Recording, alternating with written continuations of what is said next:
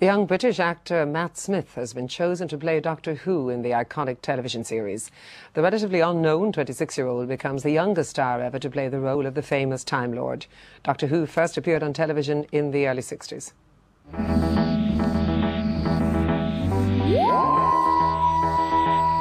For nearly five decades, Doctor Who, the longest running science fiction show in the world, has thrilled generations of viewers. I'm not a human being. I walk in eternity.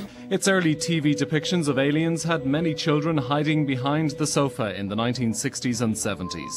The Doctor's number one enemy, the Daleks, became TV icons.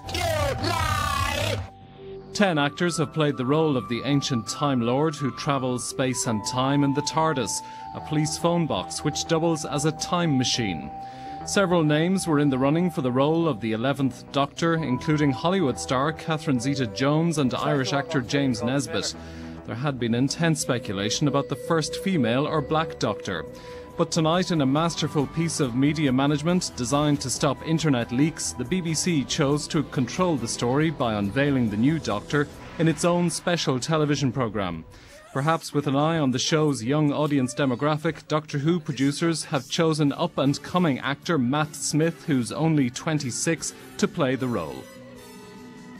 The iconic kind of status that Robin Hood or Sherlock Holmes, or, and I'm sort of taking that on.